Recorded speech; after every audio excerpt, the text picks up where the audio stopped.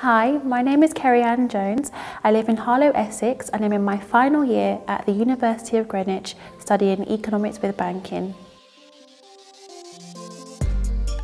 I'd say the trust that the students have with their lecturers. I love that I can go to my lecturers for support. I can email at any time of the day and I know that they're always there to help me every step of the way. And I also love the view across the Thames, it's very beautiful. Economics is constantly evolving and you can always relate it to what's going on with the current world affairs. So whether this be supply and demand, I can relate this to what's currently happening and I can use it with my essays and further my understanding of what's going on in the current world.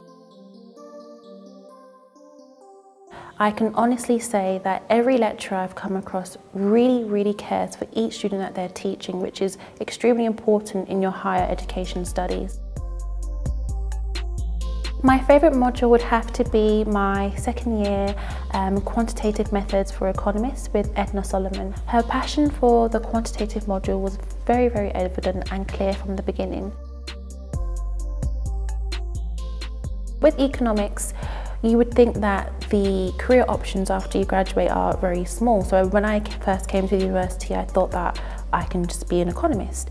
But after being in every single module, I've learned that there are so many different opportunities and career paths that I can go down once I finish my degree.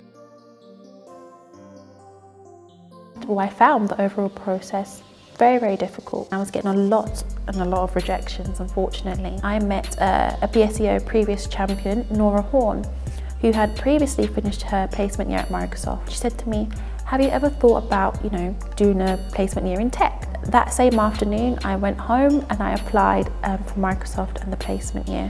Luckily, um, I was able to pass both the telephone stage and the interview stage, and I was, you know, given the placement year at Microsoft. I was a customer success account manager intern, otherwise known as a CSAM, and I was aligned to the public sector.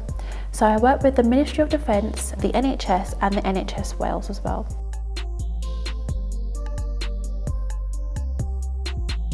So after completing my year in tech, I've been thinking about how I can best combine a role where I can have my love for technology and also utilise my economics with banking degree. So at the moment, um, I've come up with the idea of working in fintech. If I didn't work in fintech, I would either pursue um, one of the career paths or using my degree and working in a bank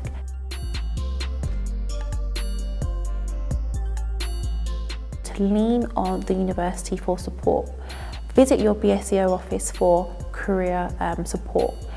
Go to the library for support with um, academic journals and books and how to best find them. Get a mentor. I've had a mentor at JP Morgan and Barclays Bank. These are all free aspects that you can use from the university. Utilise as many of the opportunities as you can. Also, have fun. You know, your university years are very, very special to you and make the most of it while you can.